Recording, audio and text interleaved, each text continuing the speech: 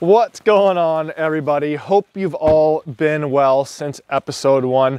We are now at March 20th. I just got back from my favorite cafe in Squamish here with a couple of snacks because today is a very exciting day. We are starting our seeds for this challenge of trying to eat from the garden for 365 straight days.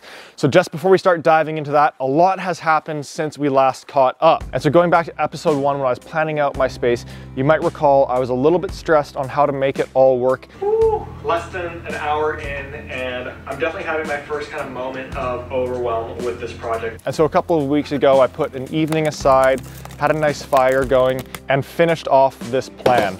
And so the first thing I did was I moved it onto a whiteboard so that I could move plants around a little bit more easily, but also I anticipate doing a lot of succession planting. And so that will make that really easy to plan out as well. And then after that, one of the things that was really concerning me was companion planting. And so I used the amazing companion planting guide from West Coast Seeds to make sure that all of the plants that I'm going to be putting into my garden are by other plants that will support them and that nothing is beside a competitor plant. And so we're in a really good place on that front. And so the last thing that I had to do was just a quick seed inventory to make sure that I have all of the seeds for today. So I'm feeling pretty good about where we're at being in March and starting our seeds for this challenge. And what I'm going to do is actually take these supplies that I'm going to use for starting the seeds up into my dining room upstairs. And the reason why I'm doing this is because the garage area for me, it's where we film all the content. It really feels like a workspace for me. And this has been one of the biggest kind of challenges for me is trying to find time to still be doing the gardening that I love for myself while simultaneously creating so much content for the channel here and for the community.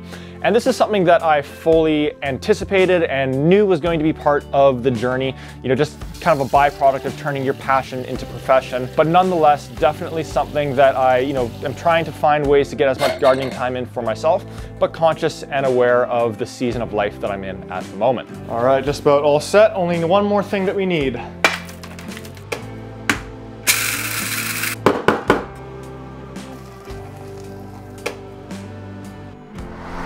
Okay, seed starting day. Yep, didn't grab the seeds. There they are. And those. There we go. Now we are all set. And I wanna go ahead and just start diving straight in here. So why don't we take a look at what I am gonna be starting for my March seeds. We've got three types of tomatoes, the pink Brandywine, the Prairie Fire Organic, and the Sun Golds, essentially a small, medium, and large. Then we got Swiss chard, two packs of that that we're gonna be getting into, basil, and gonna be depending on that through the winter, I think. Cabbage, just because it's aesthetically so beautiful. A lot of broccoli that I have planned here. And then a couple types of kale. So this is the dwarf green curled and the red Russian. And I've got some Lacinato from some experiments that I've already started. And so the method that I'm going to be using here is the exact same as what we've been utilizing in all of our seed starting videos. So I'm gonna leave a link down in the description to that whole playlist that we've built out over this season. And it's been really cool to see just so many people having success with starting seeds this season, using our seedling mix, using our seed starting kit, and just using the method or approach that I'm about to go through here for starting these seeds. Dot, dot, dot and cabbage. Woo! Nailed it. Okay, first seeds of 2022. Well, I guess technically I already have my peppers going, but today feels like the big day. So exciting. In they go. I really like broccoli because you get the head, but you can also eat the whole plant. So it actually makes it really good from a preservation perspective. because You can blend all the leaf and the stems up into a really nice broccoli soup. Now before I move on to the next one, I am going to be putting some little name tags in here because otherwise I'll forget and I won't know which are which. Hey, next up are our tomato babies. Uh-oh, stuck to the top. There we go. So for tomatoes, I actually prefer to go primarily with cherry tomatoes. Uh, reason being is that they, you know, just mature a little bit faster. I find them to be higher yielding. You're not waiting so late into the season. in order to be enjoying tomatoes. But it's always nice to have some larger ones as well. So that's why I like to go with a small, such as the cherry, and then a medium and large as well. Okay, now I'm just gonna prep the rest of these real quick.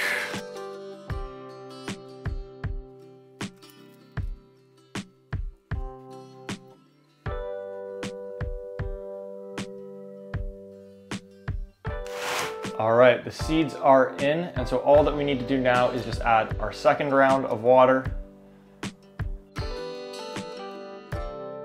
Cover them with about one centimeter of seedling mix, and then a third turkey base of water. Snack break. All right, so our March seeds are all set and ready to go. Now there's two kind of somewhat related pieces to seed starting that I also wanna quickly cover off on today, but just before we get to those two pieces, let's get these down into the seed starting station so that they can be underneath the grow lights. All right, so our babies are underneath the grow light. They're going to start germinating, doing their thing. Now the first of those last two pieces that I wanted to quickly just cover off on is take a look here. So our pepper plants that I started back in February are doing really, really well. And so I wanna just quickly pot these up so that they're in a slightly larger home. And so for potting these up, it's super straightforward, very similar process.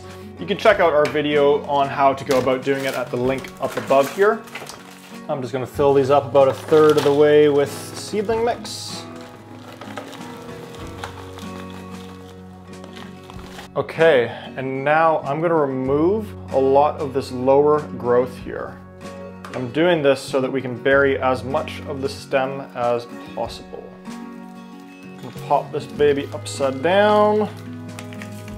Got some roots. And I'm gonna just begin separating these. So we can see this one over here, that's gonna be easy just to clump off. So let's give it a, little yank. And then these two over here, I'm gonna do next. Give them a little yank. Over there. Okay, a little bit of a mess, but not too bad. And now I'm just gonna fill them up with seedling mix to get them nice and secure. I like to kind of get a bunch in there and then move it around a bit. They're all nicely situated. Okay, and the last thing is just a big drink of water for each of them. Okay, they've all gotten their drinks of water, so let's take them back to the seed starting station. All right, so right next door, we've got our pepper babies potted up, really, really happy, and we're all set. So just before I share that one final tip for today, for those of you that I have not met before, I'm Jordan from Mind and Soil, where we're looking to introduce a million individuals to mindful gardening. So if you're looking for more peacefulness, more joy, more restoration in your life, then I really encourage you to subscribe to our channel here, because on top of this challenge that I'm currently doing to stretch myself as a gardener, we put out tons and tons of educational videos to be taking as much of the guesswork out of gardening as possible so that you can more quickly experience its mental health benefits. So that one final bonus tip that I have for you is in regards to my potatoes. And so I'm gonna be planting my potatoes out on about April 1st, so in about 10 days from now. And so as soon as I bought my potatoes about two weeks ago, I put them into a warm and dark area, which is at the bottom of my seed starting station right here. And the reason why I do that is because that begins the chitting process or the sprouting process on them.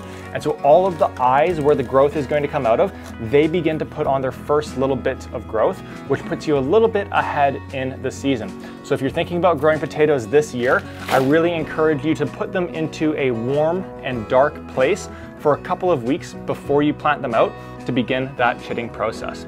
So folks, that's everything that I wanted to cover off on in this next episode. I think we're in a really good position for the season ahead. There's gonna be lots of food coming in the next little bit. If you've got any questions, leave those down in the comments. Otherwise, I can't wait to catch you on the next video. Go get those hands dirty, and I'll see you soon.